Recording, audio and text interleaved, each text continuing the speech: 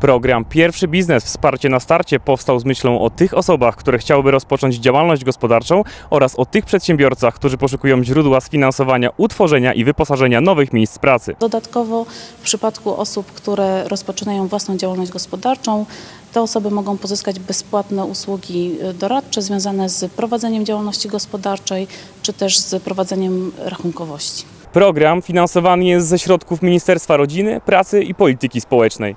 Pieniędzmi, z których mogą korzystać przedsiębiorcy, zarządza Bank Gospodarstwa Krajowego. To są niskoprocentowe pożyczki i myślę, że to jest też dobra, dobra taka inicjatywa, jeśli chodzi o uruchomienie działalności gospodarczej.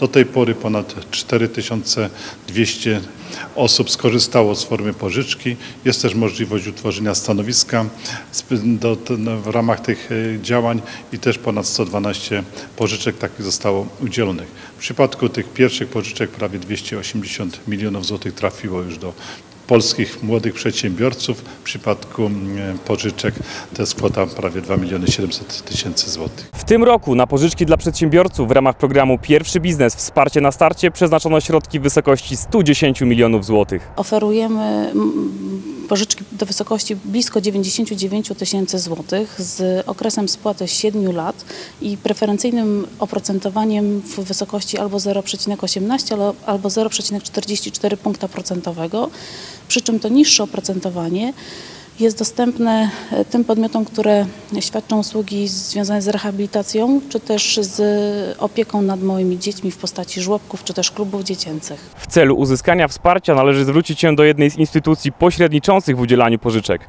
Na Dolnym Śląsku na ten moment jest to Fundusz Regionu Wałbrzyskiego, ale liczba pośredników powinna wzrosnąć w ciągu najbliższych dwóch, trzech miesięcy. Dla Echo 24 Mateusz Lubański.